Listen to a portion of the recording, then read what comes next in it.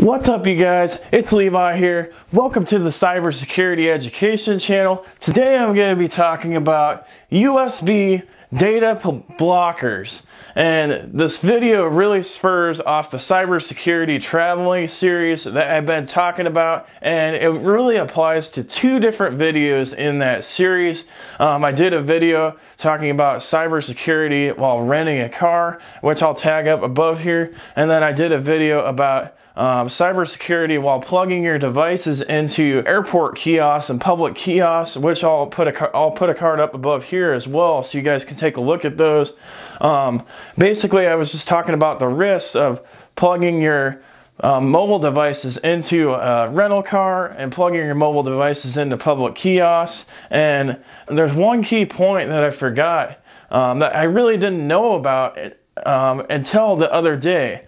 Um, Dale Meredith, um, I've talked about him in the rental car video. He um, is a Pluralsight author, um, which is a, uh, is a training company, and he does cybersecurity videos for them, which is how I found out about it. Um, and he's recently been starting a Dale Dumbs It Down series, um, which is an Instagram account that kind of dumbs IT concepts down for you guys. And he's creating a YouTube account that, that dumbs IT concepts down for you, you guys and helps with cybersecurity. I promoted him in the last video uh, because he gave me the idea about rental car security and I made sure to leave his information down below in the description.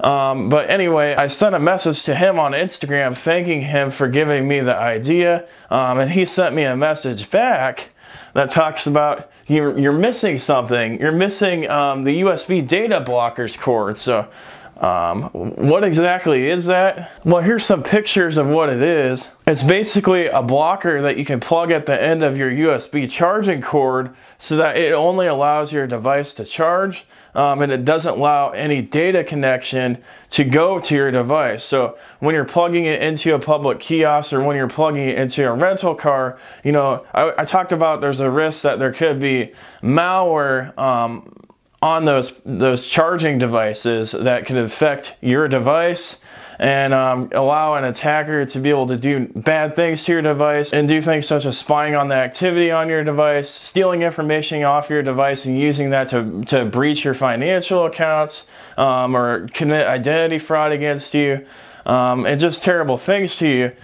Um, so this method it gives you another option to be able to plug your devices into those airport kiosks and rental cars because it'll block the data transfer. It's just going to charge your phone.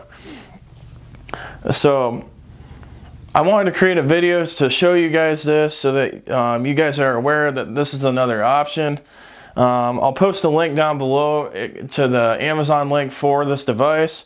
Um, Basically, what I can tell from the description, it should work with all Samsung and Apple phones for charging.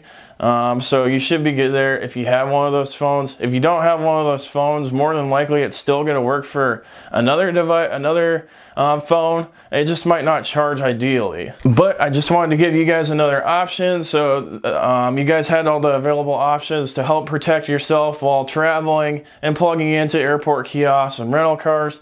Um, go ahead and watch those videos if you'd like to learn more about those situations. Keep this USB data blocker in mind as you're watching those videos. Once again, thank you for inspiring another video, Dale Meredith. Uh, I highly su suggest you guys go ahead and check out his videos. He's got some good content out there. Um, and I'll post all of his links down below so you guys can take a look at it. Thank you for watching, guys, and have a great day.